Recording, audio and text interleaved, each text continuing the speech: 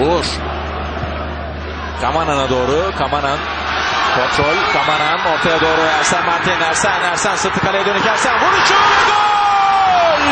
Ersen Martin ilk tehlikeli atakta golümüzü buluyoruz 12. dakika. Sivas Spor 1-0 öne geçiyor. Gol Ersen Martin dakika 12.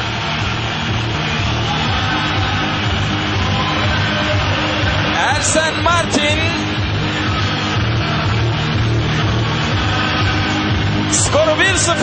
yapan golü atıyor.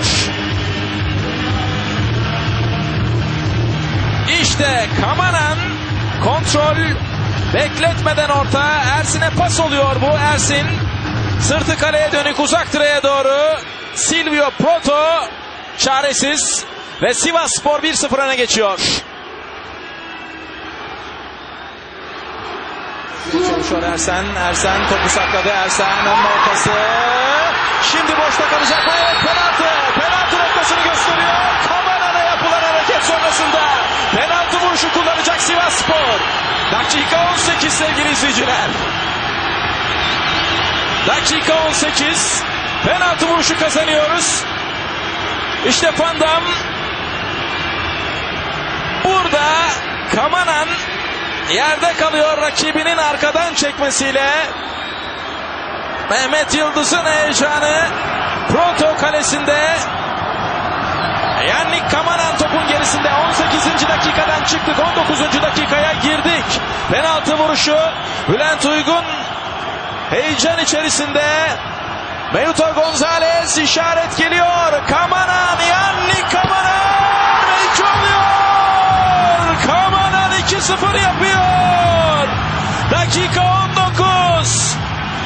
Penaltıdan Kamanan ve şimdi skor 2-0.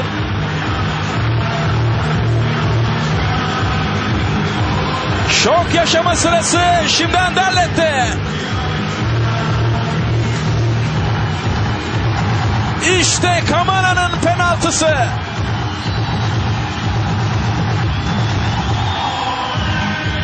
Sonra ikinci yarı hani çok şeylere gebe.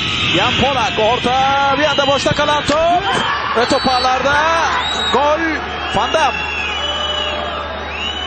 İşte bu hatalar basit hatalar. 34. dakika Fandam yere Fandam skoru 2-1 yapıyor. Ariel Jakobs rahat bir nefes almıştır kuşkusuz. İşte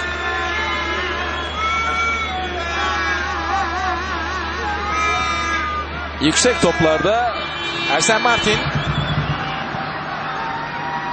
Şimdi Erman. Erman arkaya doğru kapan. Ve gol! Musa'nın golü. Erman'ın ortası. Musa Aydın'ın golü. Fark yeniden ikiye çıkıyor. Dakika 58 Gol Musa, skor 3-1 oluyor.